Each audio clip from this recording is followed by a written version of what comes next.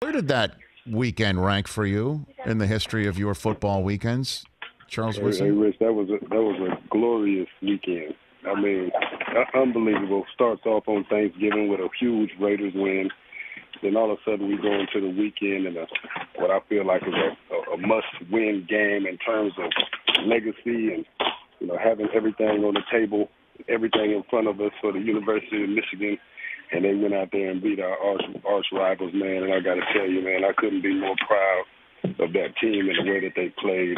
Man, they came out with fire, intensity, passion, and, and, and you could tell, man, that it meant something to them. And I think that, to me, is just the most important thing. Um, I was able to watch a special with Aidan Hutchinson and Josh Ross uh, Saturday morning, and they just talked about what the rivalry meant and those guys, you know, being the seniors, man, and, and knowing that they, they just had to get it done, and they did it. Um, being able to, you know, be there for the coin toss and be an honorary captain.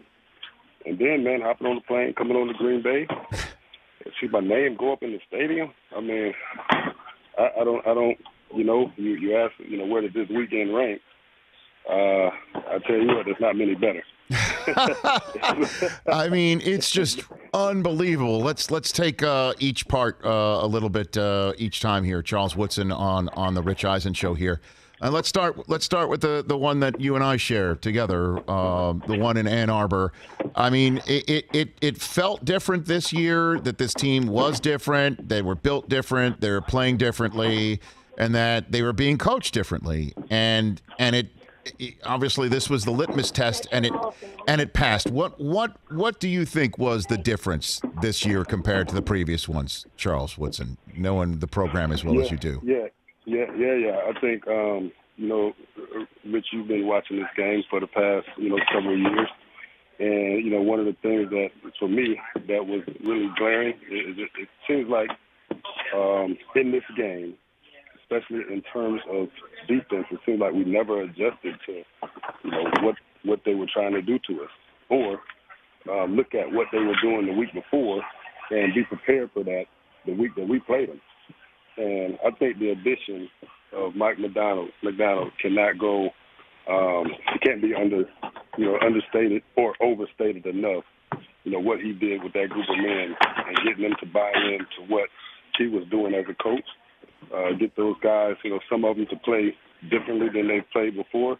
I mean, if you think about uh, Aidan Hutchinson, you know, a guy who's, you know, can get after the passer uh, better than just about anybody in the country, and then also see him be able to drop out in coverage and, and cover in the flats and go out and make tackles and be a presence not only in the rush game but also tackling in space.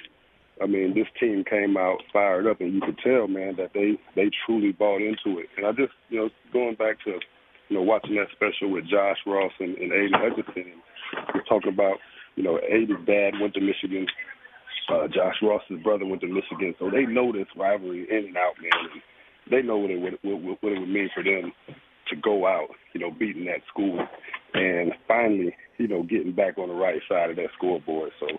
I just think, man, buying into what was going on was the biggest difference this year. What was it like in that house? What was it like in the house that day?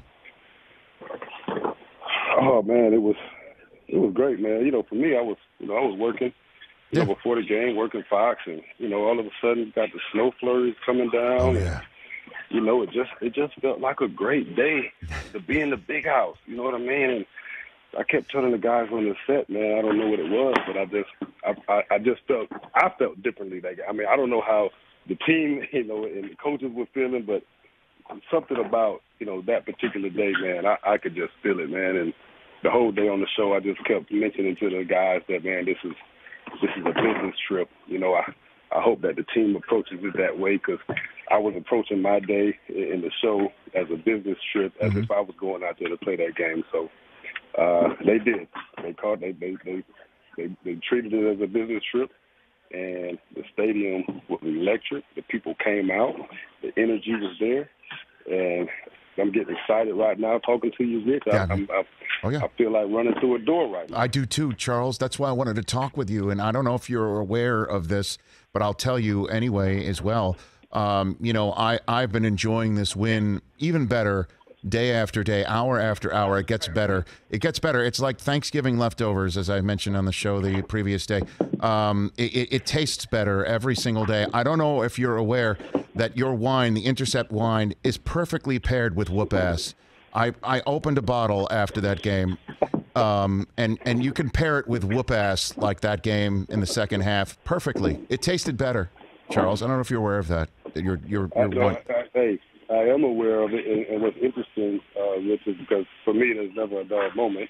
I'm over in De Pere, Wisconsin, and I'm signing bottles of Intercept wine and whiskey right now. Right now, yeah, because we're hearing stuff right, in the right, background. Right, it sounds yeah, like you're doing something. I'm, I'm signing. I'm signing bottles right now. And, Okay. And to to your point, Yes. there's a lot of people that are picking up the Woodson wine and, and the Woodson bourbon whiskey. So Right. not only did it go down well with the the, the, the ass whooping we, we we put on those guys on Saturday, but also yesterday's game, Yeah. Packers and the Rams. I mean, this this this Woodson whiskey and Intercept wine is going down so well this weekend. that I got a lot of people that need it, man.